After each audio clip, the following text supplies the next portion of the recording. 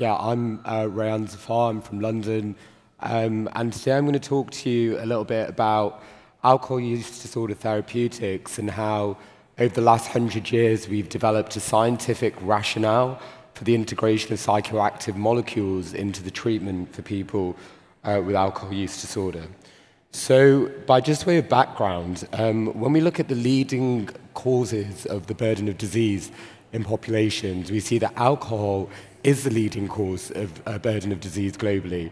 So you can see right there, smoking and tobacco is quite high up, high blood pressure, high body mass, and alcohol use. But we know the secondary implications of alcohol use actually contribute to these things, and drug use is there at the bottom. Alcohol, in the UK at least, is the leading cause of death in men under the age of 60, and soon women are going to catch up with that as women have developed more economic prowess and are drinking more and actually can't metabolize alcohol as readily as men. And so soon alcohol will also be the leading cause of death in women under 50 as well. Um, and you can see over there that about 5% of the global burden of all diseases in the world are due to this uh, molecule that is readily available uh, throughout society. So, um, around 10 years ago, um, my boss, David Nutt, and a group of people um, at this charity called Drug Science wanted to understand in a scientific way the different merits of the drugs that we use, both that are illegal and legal, and try to put them into a criteria based on harms uh, to users and harms to self.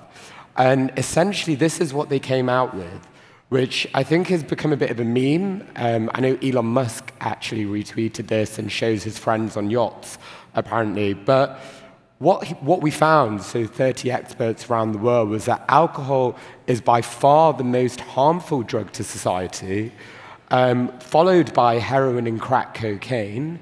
And then at the bottom of the graph over here, you can see drugs like ecstasy, LSD, magic mushrooms, and ketamine.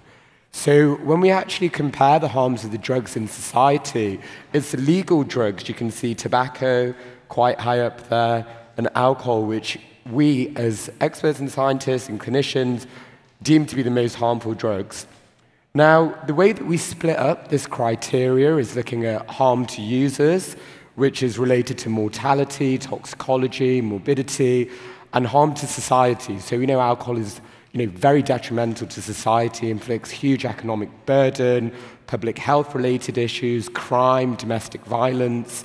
Um, and you can see, you know, there are certain drugs like heroin and crack cocaine which cause greater harm to users.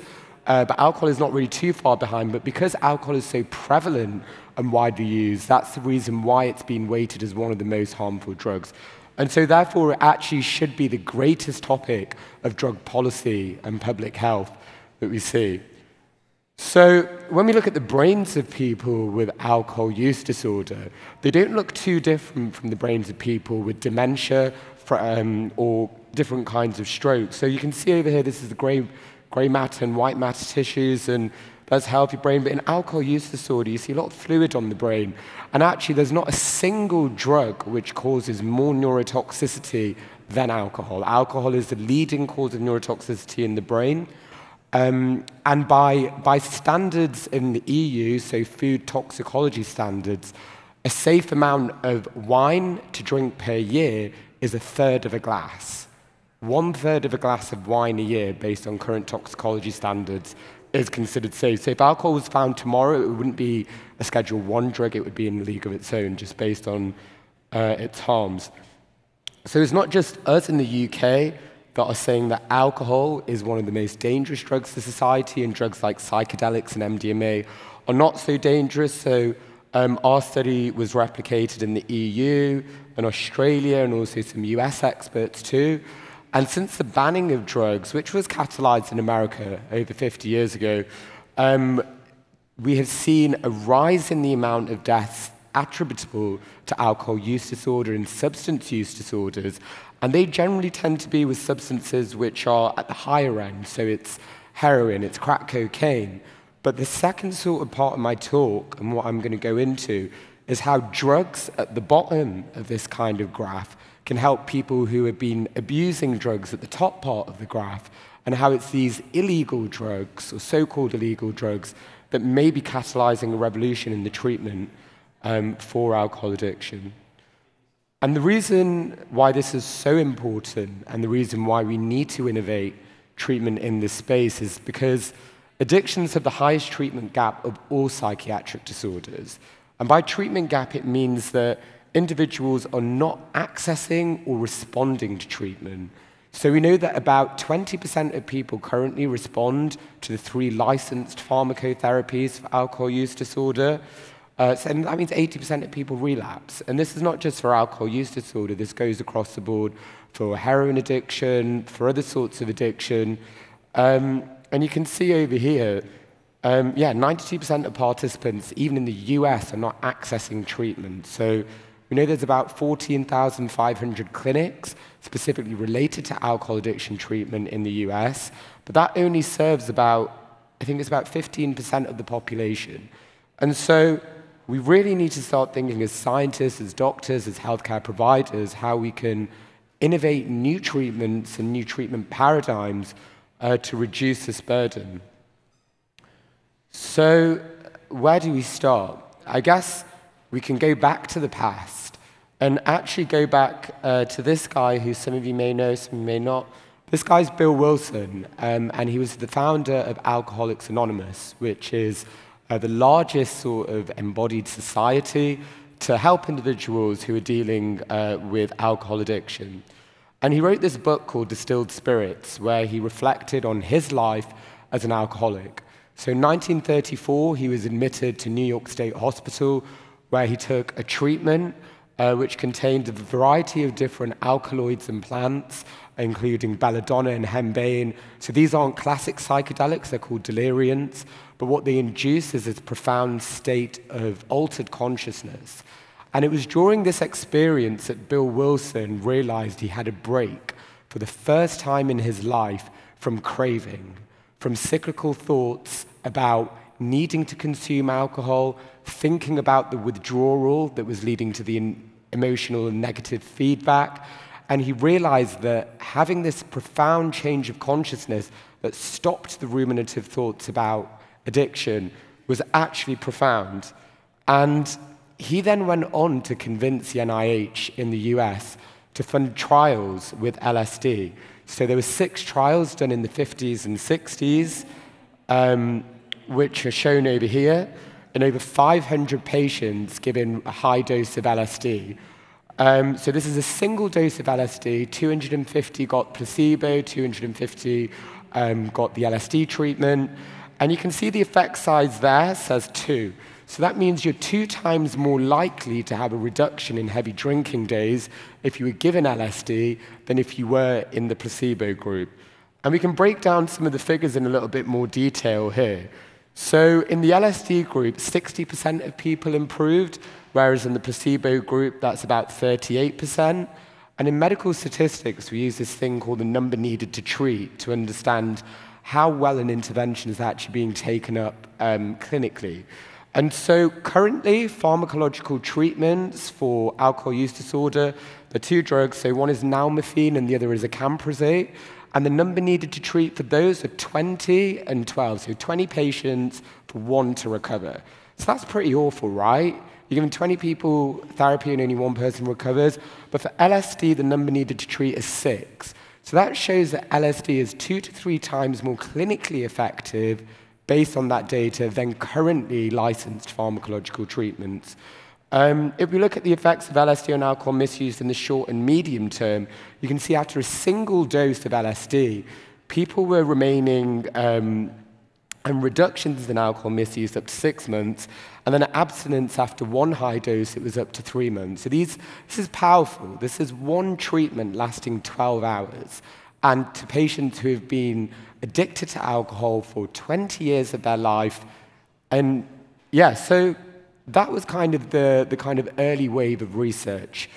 Um, and luckily now, in the last decade or so, we've seen something which um, anthropologists call psychedelic renaissance, catalyzed by different universities across the world, and including Imperial College and different ones in the US now. Um, and now um, medical science has evolved. And some of the trials that were done in the 60s, they weren't at the same level in terms of rigor as we now have. And so we're now trying to put it through these kinds of clinical testings, working with biotechnology companies and pharma, uh, with the end goal of getting FDA approval in the US or in the UK and EU, we have different regulators, but essentially getting these drugs into markets where they're insurable and where psychiatrists can prescribe them safely to patients. Um, and in, uh, at New York State University uh, in 2015, the world's first modern day clinical trial um, was conducted uh, for psilocybin for alcoholism. Um, so, two doses of psilocybin, 25 milligrams, which is a high dose, were given four weeks apart. And what you can see here is this is an open label trial, so we only look at scores before and after. But you can see in both, in both these measures of drinking days and heavy drinking days, participants went from around 45% drinking days to about 10% within the space of four weeks. And this seemed to persisted up to um, 25 to 36 weeks, so six months after. Um, Interestingly, when you break down some of these stats, it looks like a lot of numbers, but that PACS score right there is a craving score. And you can see the numbers quite clearly. At baseline, you have a craving score of 16 out of 20. But when you look at week 36, it goes down to 8 out of 20. So craving, which is a key biological marker of relapse, has actually halved after two six-hour trip sessions. But as scientists, we're really interested in why this is happening. So we know that craving is reduced, we know that people have long-term clinical outcome, but we want to get under the hood as to why this is the case. And so what we do is different things. We can do uh, something called the mystical experience questionnaire, where we ask people about their experiences under a trip. We ask them questions about experience of oneness, limitations between themselves and their ego, feelings of peace and tranquility. And we get them to basically measure this, and we give them an overall score. And interestingly, what they saw in this study was that the change in your drinking days, you had a greater change in your heavy drinking days if you had a greater mystical experience in the trip. So the more you trip, the less you drink in the long term. So that embodies the, the fact that the very nature of the psychedelic experience itself is powerful to treatment outcome. Those that you know surrender, release, and embody the highest state really have the best outcomes. You can see minus 60% change in drinking days for people who score the highest on the MEQ. And for those that didn't, there's you know, less. So this is a very, you know, R values of 0.8 are pretty high. That's basically nearly almost affirmative. Um, and this is a small sample, but now there's now data in larger samples as phase two clinical trial, which is one step along the roadmap towards regulation. And this is um, out of New York University again. Um, no? Sorry. Um, and in this study, what they found was that psilocybin was two times more effective than placebo in reducing heavy drinking days. So you can see again, similar to the first study, you have these persistent effects after just two doses, and there is a separation between placebo and uh, the, the treatment effect. Now, it's not just psilocybin or your classic psychedelics that seem to be effective. We're now seeing that drugs like ketamine, for example, uh, which has been pioneered by uh, a company called Awakn, based in the UK, um, who run this phase two study. And essentially, they found that ketamine plus psychotherapy, uh, which we can see over here, you have an 86% um, mean days abstinence but when you compare it to the placebo and psychoeducation group, it's about 70%. So although that number doesn't seem too big, that 15% gap is still significantly different. Um, and when you compare the amount of uh, individuals that don't respond, as I mentioned, to other clinical trials, this is by far the most currently available and legal, legally advanced intervention uh, for psychedelic therapy currently. So now we went on to MDMA. So talking about psilocybin, ketamine, but now we also did some research um, looking at how MDMA might be effective in people with um, an alcohol addiction. Um, so I guess the difference between US trials and UK trials is that in the UK, when we onboard people for um, addiction, alcohol addiction trials, our patient population is a lot more severe. So um, in our study, these patients are taking about 130 units of alcohol a week. So that's the equivalent to about 15 bottles of wine or about five liters of vodka a week. Um, and we saw in this study, so we had to detox them before joining the trial. That's just part of um, how we do these studies. And they were given three doses of MDMA assisted psychotherapy, very similar to the MAPS protocol, uh, with some motivational enhancement therapy. And you can see actually nine months post detox, after three MDMA sessions, the long term outcome is they go from 130 units of alcohol a week to 18.7. So that is a significant decrease. That's almost an 8 to 10x decrease in the amount of heavy drinking days. Now, many people get worried about MDMA. They talk about the effects related to a reduction in mood, a come down, blue Tuesdays. Um, and we wanted to measure this. We wanted to make sure that these patients were not becoming depressed or having a lower mood after taking MDMA.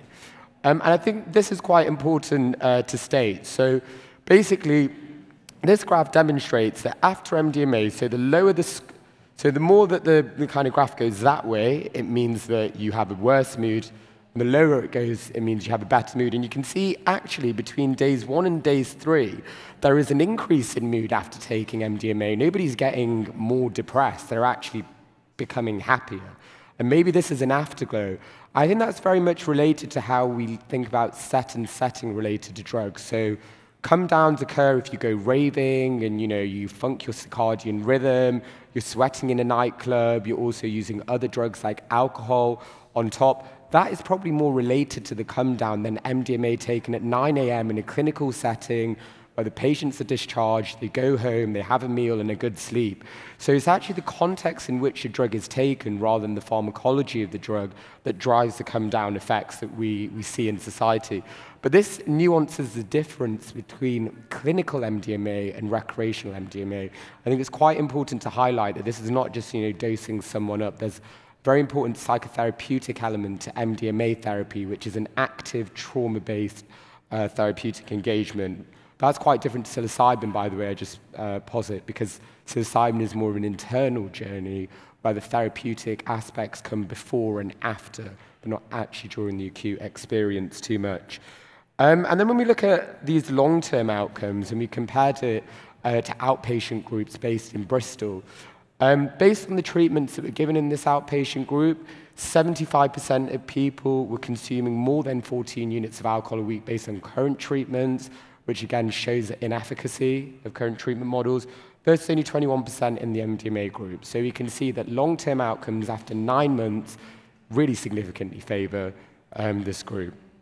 Um, so for the last five, 10 minutes, I'm going to focus on where we go from now and the work that I'm involved in at Imperial and others around the world to really start understanding how experimental medicine and modern scientific tools can optimize the development of these compounds such that we can actually become more precise in the way that we give it to patients. So um, our, work, our group at Imperial have pioneered neuroimaging in psychedelics, and we've unraveled some biomarkers and mechanisms of how psychedelics work in the brain. And so, what we see acutely when we give psychedelics to individuals is that it disrupts this uh, layer 5 pyramidal cells, which are in our cortex of the brain. The layer 5 pyramidal cells are involved in integrating information across the brain to allow for day to day thoughts and reasoning to happen. Unfortunately, in medical diseases and disorders, the way that those layer 5 pyramidal cells interact with each other holds on to cyclical ruminative thoughts that may be involved in depression. So, by exciting these pyramidal cells, we essentially engage your brain in entropy. So, we break down and shut off the way that that brain is connected. And the result of that is that the brain goes from a kind of very desegregated state to a hyperplastic state. So it essentially breaks down the neural pathways that maintain addiction related thoughts. That's during the session itself. So that is the acute effects of psilocybin in the brain. Um, and just to show that in the red over here, this is where we have the highest expression of uh, uh, serotonin 2A receptor density. And that's where uh, classic psychedelics like, uh, like psilocybin and LSD seem to work. And they're most predominantly expressed in the neocortex, which is the most evolved part of the mammalian brain, and in fact, the most evolved tissue that society and humankind has ever known. It's the tissue and part of the brain that allows humans, the only um, thing in the world, apart from maybe AI at some point soon, um, has the ability to introspect. So it's these bits in red here. And the fact that it catalyzes and shunts the breakdown of thoughts in those areas leads to several things. It leads to neuroplasticity, which is the growth of new neurons in the brain. So, from freeing your brain up from its thoughts and its cycles, it promotes the growth of new, new projections. Um, this is very much involved in brain development, and it's a process which underlies learning. And a lot of addiction, a lot of uh, mental health disorders are a product of aberrant learning.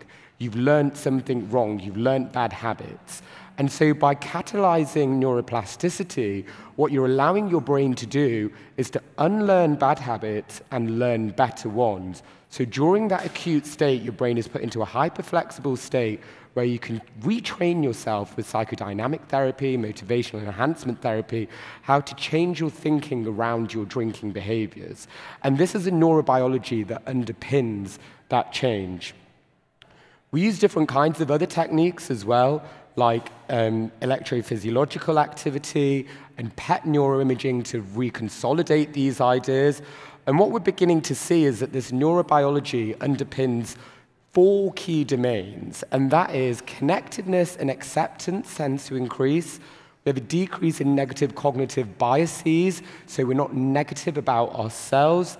Our rumination and thought suppression, which was a paper that Tommaso was involved in at the front. Uh, that tends to decrease after psilocybin, and trait openness, which is being more open. And these four facets are pretty critical to developing out of addiction, but also out of loads of mental health disorders. Um, and then the way that we structure our world, our inside voices, the way that we frame the narratives in our life tend to dramatically change. And this is just an example of how you know, our brains play tricks on us as we uh, start to believe things over time. And this concave mass, you don't know whether it's out-facing or in-facing, but you learn to see it in one specific way. But that's how the brain becomes tricked by addiction as well. You, send, you tend to see your addiction in one specific light. But by taking psychedelics, you can start breaking down these schemas that have developed over time and start seeing things in a new way, which is why Aldous Huxley talks about the, the doors of perception being cleansed. You're looking at life through a new lens again. And so the key question that we want to answer now, and that has never been done in any psychedelic addiction study, is we know that reward processing, so how individuals respond to reward, is critical to how addiction liability um, uh, entails. And we want to know whether psychedelics can restore dysfunctional reward processing, and we then want to use that to understand how we can use that to optimize therapeutic development. And so using neuroimaging, we'll be able to see whether at baseline, so this is a schematic which shows how addiction is a bit more of a contracted neural state. When we look at the brains of people with addiction, uh, they generally don't seem to have engagement between different brain areas related to reward and cognition. It's very segregated and they're very focused just on the object that they're addicted to. And what we think is that in a clinical setting with psilocybin, we push this open, as I mentioned, that neuroplasticity window opens. But what we think we'll be able to model in the brain is that there's a long-term carryover effect in these neural networks. And essentially the key questions is, is it these neural pathways that change that might be the key to curing addiction? Is this the biomarker? Is it this shunting of the salience network, the default mode network? And is it this change in the neural signatures in these individuals that might help individuals re-engage with the world that they live in, may open up those doors of consciousness and help to reintegrate someone into society? So these are the burning questions, and I guess in about a year or two, um, we'll have some answers as we're now currently uh, doing a few trials, uh, which I'm now heading up. So psilocybin for gambling addiction, uh, and psilocybin for heroin addiction, and there's groups around the world that are also doing it in alcohol use disorder. Um, and we're really keen to now, in the next part of experimental medicine, is to use precision neuroimaging techniques to enable better stratification of treatments to patients. Because I do want to say that although I've spoken a lot about the benefits of psychedelics, in some of these studies, you know, 40% of people still don't respond. There's still a majority of people that do, they do respond, but there's still a significant, you know, minority that don't. And we want to know why that is. And perhaps neuroimaging and these tools will allow us to start stratifying those patient groups and understanding how we can actually make psychedelics uh, as accessible, available, and beneficial to the, the widest proportion of society. Um, so yeah, we want people to reconnect, recalibrate, and maybe even rebroaden reward. So in summary, it's not a magic bullet, but understanding treatment response through multimodal biopsychological profiling will help us to develop predictive, preventative, personalized, and participatory science. Um, new receptor systems will be found, and having an understanding of these novel biomarkers will be able to get better ideas related to drug efficacy and targets. And translational neuropsychopharmacology, which is the research which sparked modern day psychedelic research, um, using these same tools, we'll be able to develop a better understanding of the pathobiology of addiction and therefore develop better treatments in the future. And the reason why this is most important, as I said at the start, is because in addiction, we have the highest level of treatment gap of all psychiatric disorders. These patients aren't being treated, and it's just getting worse. Uh, so I'd like to thank everyone at Imperial, specifically Professor David Nutt, Dr. David Erritzoe, Professor Robin Carhart-Harris, and Matt Wall and the rest amazing team um, who's here say thank you.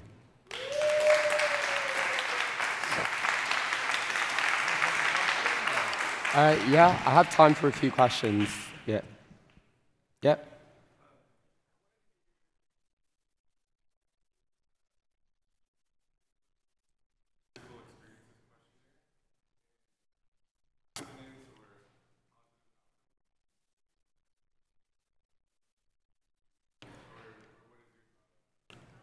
so I guess it's about letting go of the addiction or letting go of the processes and schematic thoughts that underlie cyclical. So in addiction, it's binge, intoxication, withdrawal, craving. That's the cycle of addiction.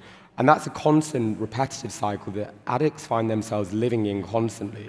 Psychedelics provide a 6 to 12 hour window in which you actually break down that cycle if you fully submerge into a psychedelic experience, you're actually no longer in that psychological state.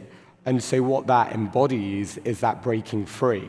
And so, the people that break free the most and allow themselves the greatest time away from that addiction can use that hyperplastic state to start questioning their cycle thoughts, questioning their triggers as they internalize the trip. So, I think it's about that kind of stopping the cycle of um, repetitive cycle of decline um, that seems to be kind of underwiring it. And that is linked to REBUS. So REBUS is about kind of relaxed beliefs and the psychedelics. But what uh, we're trying to work on is a new model called RESERP, which is called rebroadening of salience under psychedelics. So it's about relaxing your beliefs, but rebroadening your networks related to salience. So salience means what you like, what's important for you.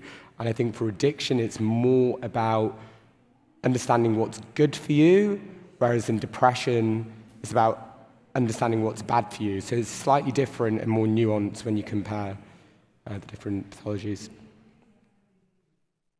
Uh, yeah, I can take one more.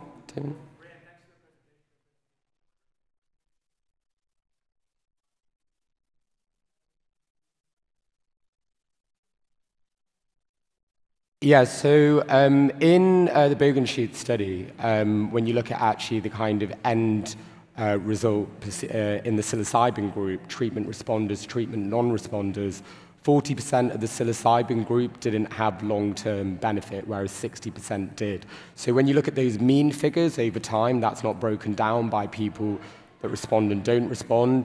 Um, and we don't know why that is yet. Um, you can do subgroup analysis, um, but you need large sample sizes to really detect significance.